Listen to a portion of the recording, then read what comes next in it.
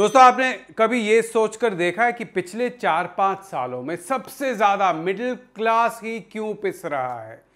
क्यों मोदी सरकार middle class के लिए कुछ नहीं करती है? और अब जो ये कोविड का सेकेंड वेव आया है 2020 तो डूब ही गया इकोनॉमी की तरफ़ से। अगर आप देखें तो 2021 में भी वही होने वाला है, सभी संकेत वही लग रहे हैं। तो मिडिल क्लास का क्या होने वाला है? मिडिल क्लास फिर से पिसने वाली है। और क्यों इसी का हिसाब लगाएँगे आज के इस एपिसोड में।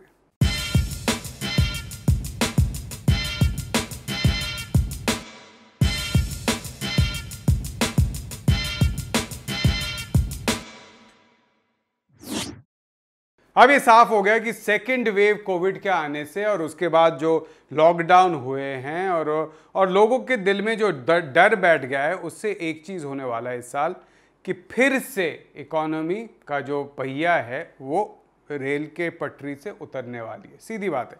ये होने वाला है, हो रहा भी है। आप जानते हैं कि मई के महीने में सबसे ज़्यादा बेरोजगारी दर बढ़ा है। पिछले साल की तुलना में भी ज़्यादा बढ़ा है।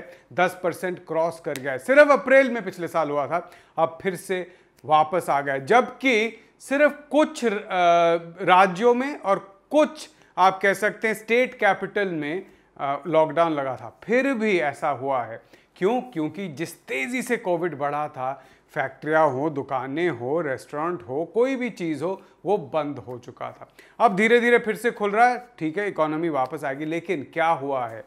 अब आप देखिए कि साथ में एक और चीज़ क्या हुआ है? कंपनियों का जो खर्च है एक खर्च क्या होता है? लोगों को वेतन देना, लोगों को मजदूरी देना। और दूसरा होता है, जिसको कहते हैं हम कच्चा माल। कच्चा माल का खर्च लगातार बढ़ रहा है। जैसे जैसे दुनिया की इकोनॉमी ऊपर जा रही है, कच्चे माल के दाम बढ़ रहे हैं। और इससे कंपनियों का जो प्रॉफिट है, मुनाफा है, वो धीरे धीरे कम होने लगेगा। पिछले साल ऐसा नहीं था। पिछले साल कंपनियों का बहुत सारा मुनाफा हुआ था। ये मैं बार बार आपको कहता रहा हूँ कि बड़ी कंपनियों का मुनाफा पिछले साल बढ़ा था। जो लोग इन बड़ी कंपनियों में काम करते हैं, उनका कोई फ़ायदा नहीं हुआ क्योंकि या तो उनकी नौकरी गई या उनका पे कट हुआ।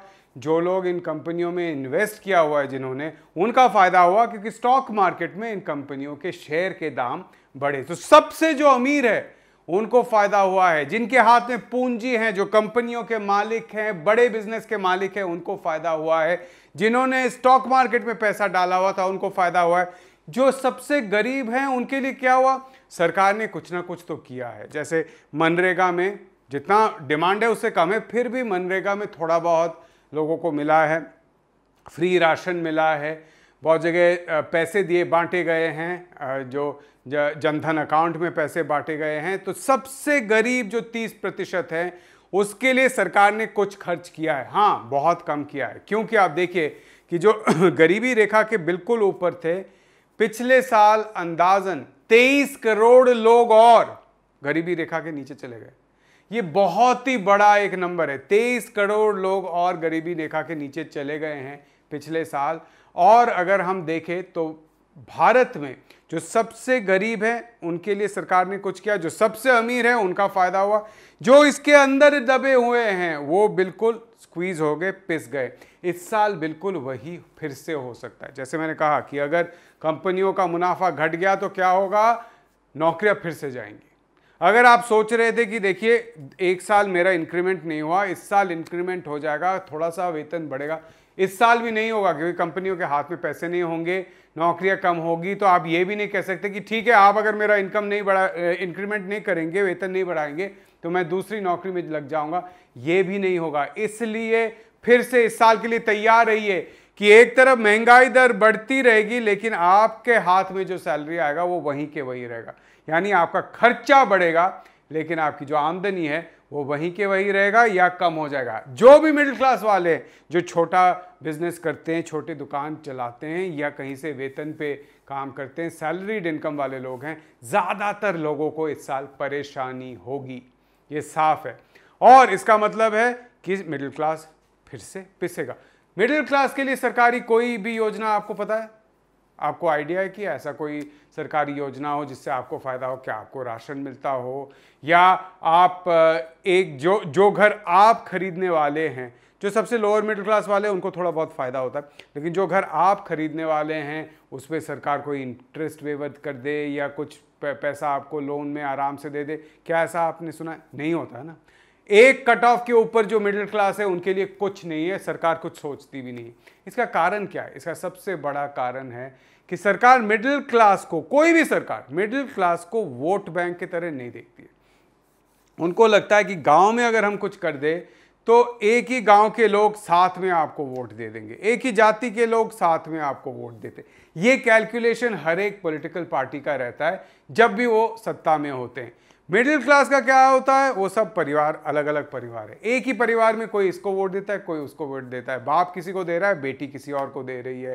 तो मिडिल क्लास के लिए करके कोई पॉलिटिकल इलेक्टोरल लाभ सरकार को नहीं मिलता है। दूसरी बात है मिडिल क्लास वाले सोचते कि राजनीति बड़ी गंदी चीज़ है। राजनीति से दूर रहो। स्ट्राइक नहीं करना चाहिए भाई। जो भी कहे, मालिक घर काम करने के लिए करना चाहिए। स्ट्राइक तो मजदूर लोग करते हैं, हम नहीं करते हैं। है ना? तो मिडिल क्लास कभी भी एकजुट होके अपने हक के लिए नहीं लड़ती है। वो बिल्कुल अलग अलग हो जाती है। जब भी उनको कहना होता है कि हम अपने हक के लिए लड़ेंगे, उनको लगता है, इससे तो पॉलिटिक्स की बुआ आ रही है ना? राजनीति की बुआ आ रही स्ट्राइक की बुआ आ रही यूनियन की बुआ आ रही हम ये नहीं करना चाहते, इसलिए मिडिल क्लास पिसती है।